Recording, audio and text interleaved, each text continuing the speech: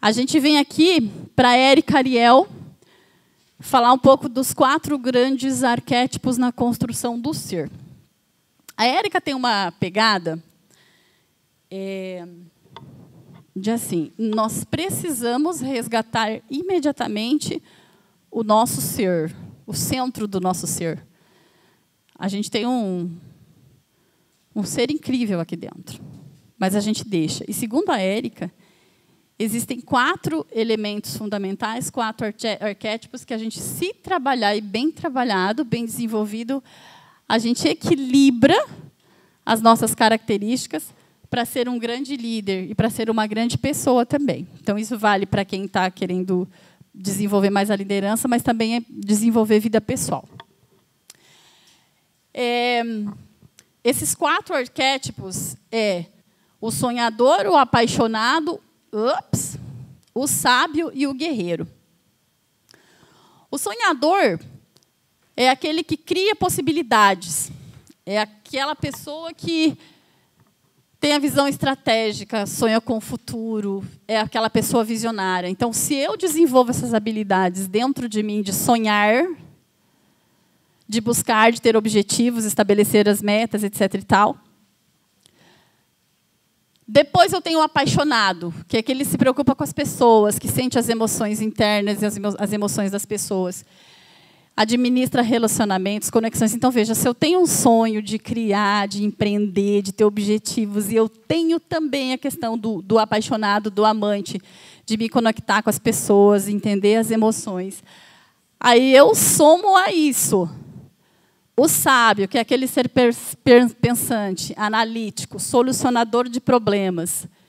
Somo a isso o guerreiro, que é o que realiza de fato, que vai para as ações, atinge metas, e o importante diz a verdade, diz, discorda, etc. E tal. Eu tenho esses quatro elementos desenvolvidos. Segundo a Érica, eu consigo trazer de mim as quatro qualidades interiores. Aí ela fala que a gente, quando, por exemplo, você tem, desenvolve essas, você tem esses quatro dentro de você, e como ela diz ali, nem Jesus, tu já sabe saber o que, que tu já pode entender o que, que falta para você desenvolver, né? O que que tá, não está desenvolvido.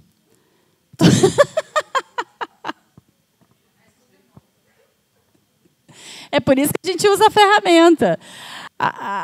eu vou passar para vocês o que eu passo para e a gente até acho que vai fazer, eu tenho aqui algumas coisas para a gente desenvolver aqui, já em sala, um exercício.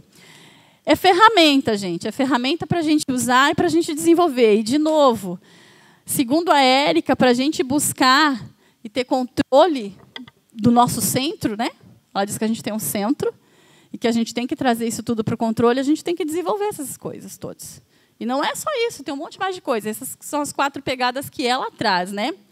Mas tem uma atividade. Deixa eu ver onde é que está. Aqui. Para passar para vocês depois. Aqui, ó. Ela traz os quatro arquétipos. E ela fala que quando a gente, por exemplo, segundo ela, a gente esconde isso dentro da gente, tá? A gente tem, mas a gente esconde. E quando eu. E, e, a maioria das vezes é para satisfazer o externo, né? Estou escondendo algumas qualidades minhas porque eu estou satisfazendo o externo, né? Então, se eu tenho uma dessas quatro características, segundo a Érica, de novo, tá, gente? É uma teoria dela, eu gosto bastante. E eu trouxe para vocês, para mostrar para vocês que é uma ferramenta que pode ser utilizada. Depois vocês aprofundam lá no e-book com o, as referências que eu vou dar para vocês ah, quando você minimiza uma dessas coisas, você abre uma lacuna de desempenho. Está me faltando alguma coisa. E eu tenho que resolver essa lacuna de desempenho, então, cuidando disso, buscando para desenvolver isso. Aí, quando eu tenho, eh, ela traz, essa, ela chama isso de quatro forças, tá? As quatro grandes forças.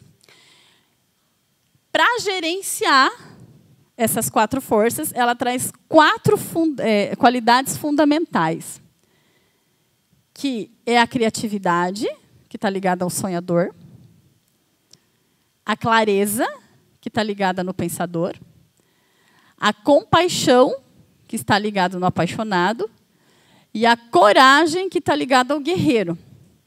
Então, para cada arquétipo, ela traz quatro qualidades fundamentais. Repito, são as fundamentais, tem muitas outras, né? Para você trabalhar isso, para você explorar dentro de você.